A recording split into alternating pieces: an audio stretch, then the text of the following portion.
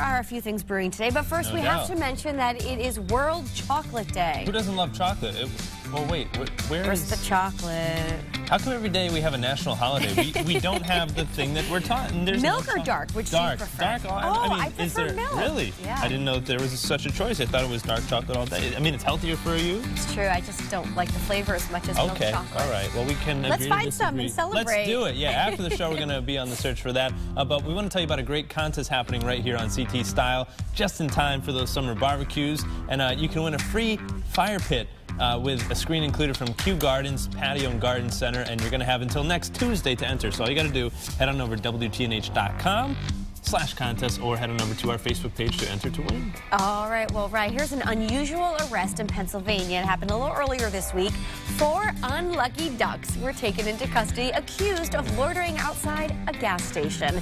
They were booked and even had prints taken of their little webbed feet. Eventually, the police took them home to their owner.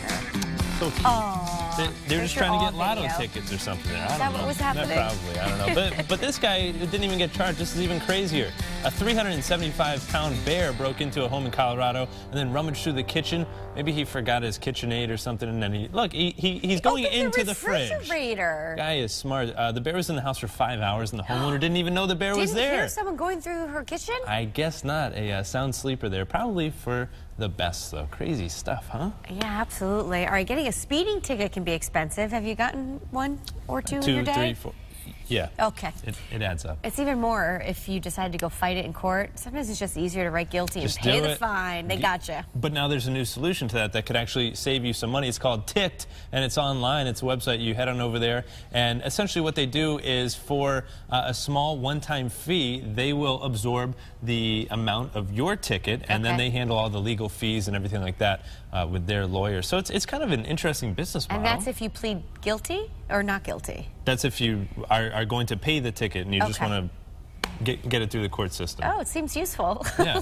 So, but I mean, you could save some money on it, which is nice, right? Absolutely, What do you think? I guess. You, you well, had a when recent. you say when you go to court, typically they cut it in half, Yeah. right? But you still end up paying something. You save time. You don't have to go to court. You, You- just log you online. waste and- a day in court, though. Didn't, didn't you just have something like that happen with uh, your contacts? Or, I'm, yeah, I'm due for an exam, but there's a website you could use similar to that to get your eye exam. I Didn't learned. know I don't know if that's You- a great idea, but there you go. You have options. You learn something new every day. Hey, uh, do, do you ever change your voice based on who who you're do you interacting? mean, What do you mean? right? Oh, okay, Barry White. But it's funny, you know, when you're at home and you're talking to maybe your best friend, your husband, or your wife, and you're just, I had the worst day ever, and then the phone call, and it's your boss, and oh.